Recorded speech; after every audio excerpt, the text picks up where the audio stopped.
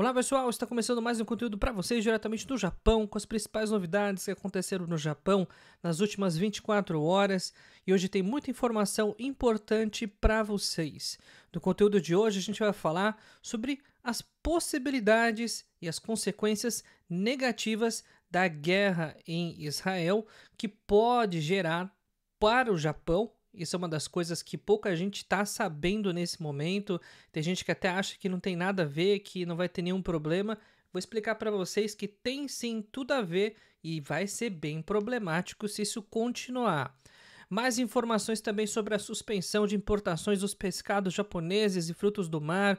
Seguindo a mesma diretriz da China, a Rússia pega a carona nesse modelo e causa intriga entre os países e também planos da Coreia do Norte aí com relação ao avanço, é, de, principalmente da defesa contra a implementação de mísseis do Japão e outros tipos de sistema que podem causar aí, digamos, uma tensão na região, principalmente no quesito militar. Então, fica até o final do vídeo, já clica no botãozinho do like aqui embaixo para fortalecer o trabalho, o único noticiário em português diretamente para vocês todos os dias e que não te custa nada. Então, clica no likezão, sempre apoiando o canal e não se esqueça de compartilhar esse vídeo com seus amigos, principalmente aqueles que gostam de ficar inteirados com tudo o que está acontecendo no Japão. Agora então, vamos falar sobre a primeira notícia, uma notícia que é muito importante para você que gosta de ficar informado, principalmente em assuntos técnicos, assuntos econômicos. Muita gente tem me perguntado qual é a relação da guerra que está acontecendo, o conflito do, de Israel com o Hamas com o Japão ou mesmo com a questão da economia global. As explicações são muito simples, até porque a região que está em conflito nesse momento é muito perto e faz fronteira, inclusive, com a região da Arábia Saudita, que é um dos principais produtores de petróleo do mundo. A intensificação do conflito de Israel com o Hamas e também o envolvimento de outros países, seja por via direta ou indireta, ou mesmo contra Israel, estão causando possíveis movimentações no mercado futuro, principalmente relacionado ao barril de petróleo, e que o Japão é muito refém. O Japão é um dos principais importadores de recursos, é, no caso, principalmente derivados do petróleo, petróleo de uma forma geral, e qualquer flutuação no caso relacionada ao barril do petróleo, pode fazer a economia do Japão sacudir novamente. E as ações da, da bolsa Nikkei, que é a principal bolsa de valores do Japão, despencou. Uma queda muito significativa, a princípio aí com mais de 700 pontos acumulados de queda, o que mostra que, inclusive para uma bolsa extremamente estável, que é a bolsa Nikkei, não costuma ter esse tipo de oscilação, pelo menos em 24 horas. Isso mostra muito claramente que os especialistas estão pessimistas com relação à evolução da guerra na região. Então é uma situação muito nervosa que está acontecendo nesse momento e é por isso que vocês nunca devem, pelo menos na nossa concepção, subestimar as consequências mesmo de conflitos que aconteçam longe do Japão.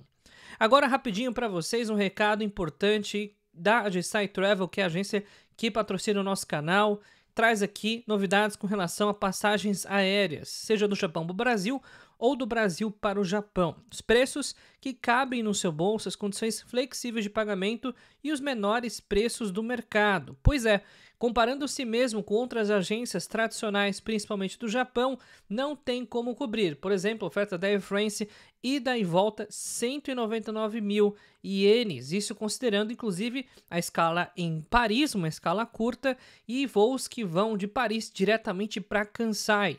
Somente a Emirates faz esse tipo de rota, mas agora a Air France está com preços melhores do que a Emirates e, consequentemente, convocando vocês para comprar passagem antecipada. Essa promoção ela é melhor para quem sai do Brasil e vai para o Japão, principalmente nos trechos de ida e volta. Mas não somente isso, tem outras promoções. Então entre em contato, manda mensagem no WhatsApp DDD 119 30 30 0101 e não perca as melhores oportunidades realmente de passagens para vocês. E agora a gente vai retomar o assunto relacionado à suspensão das importações de frutos do mar e pescados de uma forma geral, seja do Japão, principalmente agora, para a Rússia.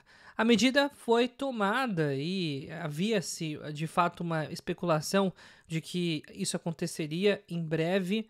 Acabou acontecendo, mas o Japão havia reagido de forma negativa, claro, até porque Rússia e China têm poderes diferentes, principalmente com relação ao Japão. Mas fica muito claro que nessa nova ordem mundial, a Rússia precisa ficar ao lado da China. E, consequentemente, trouxe aí uma medida de enfraquecimento do Japão. É mais um golpe duríssimo na economia japonesa que, apesar de não ter a pescaria como um principal componente do PIB, certamente vai começar a afetar no curto prazo. E mais informações também com relação aos impostos, até porque o Japão está voltando aí vários subsídios para os pescadores e também para a indústria de pescados, que fica principalmente no norte do Japão, e até quando eles vão precisar segurar os subsídios. Esse imposto uma hora ou outra vai chegar no bolso do consumidor, seja na gôndola, na compra de produtos ou serviços, né, numa alíquota de tributação eventualmente mais alta, ou também na alocação de impostos indiretos. Então é uma situação que está deteriorando, e isso por conta também das notícias ruins do mercado internacional. Ah, mas você não dá notícia boa, você só traz notícia ruim. Bom, a gente reflete aqui o que é a realidade. Se a realidade são notícias ruins, a gente tem que trazer aqui o que reflete a realidade. Entenderam? A gente adoraria aqui trazer as notícias maravilhosas, só falar de coisa boa, mas se o que está acontecendo é o inverso, por que, que a gente tem que descrever algo que não é real? Então, jornalismo sério, jornalismo independente, jornalismo que não tem o rabo preso com ninguém, é aqui mesmo. Você encontrou o lugar certo para você saber da informação e não ter, digamos assim, nenhum viés de lado nenhum, principalmente questão político-econômica. Agora, uma reação da Coreia do Norte com relação ao sistema de implementação de mísseis do Japão. O Japão que está avançando fortemente no, no sistema de justamente de lançamento de mísseis investido na sua defesa e aumentando o percentual de investimento do PIB na defesa do país. Até por isso que muita gente acredita, alguns especialistas econômicos, que o Japão deve começar a subir as alíquotas dos impostos novamente, seja de forma direta ou indireta. Isso porque não para de gastar, né? Basicamente o Japão está criando é, pontos novos de consumo e a arrecadação não está subindo. Ou seja, quando a arrecadação não sobe, o gasto aumenta, isso vai ter que ser repassado para quem? Para o consumidor no final das contas ou para as empresas que fazem aí a produção de produtos ou distribuição de serviços. E uma informação muito importante que aconteceu hoje em Okinawa, pois é, próxima região de Okinawa, especificamente entre Okinawa e Taiwan, teve aí um terremoto de magnitude 6 que sacudiu a região. Inclusive, teve é, registros de atividade sísmica a partir de 4 graus próximo aí da região de Okinawa. Nenhum alerta de tsunami, no entanto, foi emitido. Apesar disso, existiu sim uma tensão que Okinawa acabou passando. É, e Okinawa, que veio de, vem de vários tufões nessa época do ano, agora foi ah, de fato sacudido aí por um terremoto 6 2.0. Não é dos piores, mas poderia, obviamente, ser pior, principalmente se tivesse gerado algum tipo de alerta de evacuação ou tsunami. Agora a gente vai falar sobre a situação de que é aquela velha história, nem tudo é perfeito. O Japão, apesar de ser um país extremamente seguro, também tem os seus problemas, e até mesmo relacionado com a sua própria população e com o comportamento dela. Um senhor de idade já, ele foi até um centro de convivência, no caso, em Nagoya, nesse centro de convivência aqui, e ele foi é, por volta das 16h30 da tarde do dia 16 de outubro e esfaqueou uma, um homem e uma mulher. Esfaqueou duas pessoas, inclusive com perfurações relativamente profundas, de até 15 centímetros, com uma faca. E segundo a investigação da polícia, que já está praticamente concluída, é possível que esse indivíduo tenha ido até o centro de convivência, esfaqueado esse homem essa mulher, justamente por questões relacionadas ao som que eles estavam emitindo é, na atividade, que era muito alta. Né? Então, pessoas sensíveis, nesse caso, esse homem ficou transtornado e foi tentar resolver a situação com as próprias mãos. Obviamente, uma, uma atitude totalmente reprovável. Ele foi preso e os feridos não se encontram em situação grave, muito pelo contrário, passam bem, mas não foram liberados ainda do hospital. E agora uma atualização sobre aquele caso da igreja de unificação. Então, apesar do governo ter definido a questão da dissolução e ter um apoio do parlamento e também da população, é, como vocês podem ver, 86% é, já aprovou né, a questão da dissolução. A gente vê que a Igreja de Unificação não parece estar aceitando muito bem essa, essa questão, inclusive alega que estão violando os seus direitos.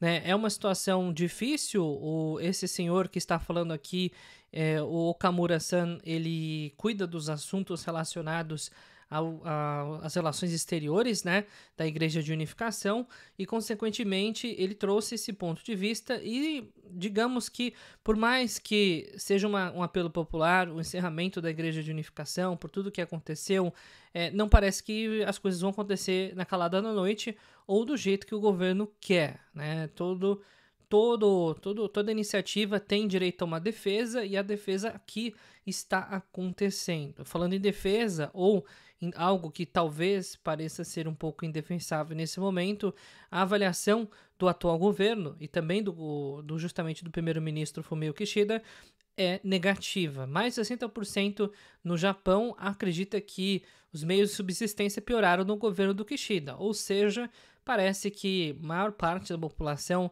não está satisfeita e, inclusive, acha que a sua vida piorou durante o mandato. É verdade que não dá para colocar toda a culpa no primeiro-ministro, principalmente porque é, muitas das coisas, muitos dos problemas que aconteceram nos últimos meses estão totalmente externos à gestão do primeiro-ministro, mas evidentemente a forma como ele tem conduzido a questão da economia, é, a falta de intervenção na política monetária, a falta de posicionamento em alguns casos sensíveis do ponto de vista militar e também de reações é, mais dramáticas, tudo isso tem acarretado em avaliações ruins e que vão se empilhando, gerando aí, é, no caso, insatisfação da população. E uma das notícias que vem aqui para agregar para vocês no conhecimento sobre o mercado cambial. Muita gente esperava que o iene fosse melhorar a sua cotação nas próximas semanas por conta de uma possível intervenção. Inclusive foi anunciada pelo próprio Banco Central do Japão. Apesar disso, o Fundo Monetário Internacional, um órgão independente, no caso do Japão, não parece ver condições do Japão intervir no câmbio. Parece que o Japão não tem força suficiente para conseguir controlar essas flutuações que estão acontecendo. Então, seria melhor, no caso, para o Japão se abster de qualquer tipo de tentativa de regulação do que propriamente tentar e falhar. Então, é uma avaliação econômica que mostra que, pelo menos a curto prazo, a tendência do iene é continuar caindo pelo menos desvalorizando-se com relação ao euro e o dólar. Mais informações também agora sobre a questão de Israel. Muita gente está preocupado com o que está acontecendo nesse conflito entre o Hamas e Israel. O primeiro, o presidente, no caso dos Estados Unidos, ele se posicionou a respeito desse conflito e ele foi um pouco categórico com relação ao posicionamento dessa guerra. Diferentemente do que muito se imaginava, de que o, o presidente dos Estados Unidos seria totalmente a favor de, do Estado de Israel, principalmente a favor da invasão da faixa de Gaza e, e também que seria um, um grande defensor desse movimento na verdade, o posicionamento dele foi diferente. E segundo o presidente dos Estados Unidos, essa guerra não pode trazer aí consequências positivas, principalmente no contexto internacional. Esse conflito que explode nessa região de Israel, ela pode se alastrar para outros países e também trazer consequências é, não só ruins para os países que estão em guerra, mas também para o mercado internacional que vai acabar sofrendo principalmente com as consequências das mudanças na distribuição, por exemplo, das commodities, que é um forte dessa região do Golfo Pérsico e também do Oriente Médio. Então, é uma, uma consequência complicada. A gente vem trazendo aqui atualizações para vocês e realmente é uma situação que a gente precisa monitorar de perto porque tem sim impacto no Japão. Então, para quem fez um comentário no último vídeo dizendo que não tinha nada a ver uma coisa com a outra, tô provando aqui para vocês por A mais B mais C que tem sim muito a ver esse conflito com o Japão e o Japão não tem interesse que esse conflito perdure por muito tempo, justamente por todas as questões relacionadas às commodities a curto prazo que a gente informou para vocês anteriormente. E agora um recado importante para vocês que chegaram até aqui no vídeo, estão no Brasil e procurando oportunidades de emprego no Japão. Pois é, ainda tem chances de você ir para o Japão, tem até oportunidade de custo zero até uma certa faixa etária.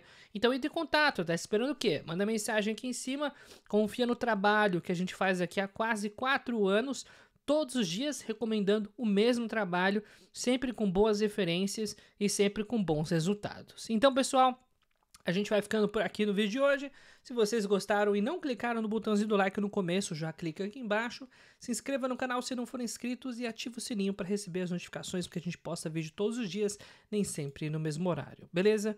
Então, pessoal, até o vídeo de amanhã, porque todos os dias tem vídeo novo aqui no canal. Tudo sobre Japão.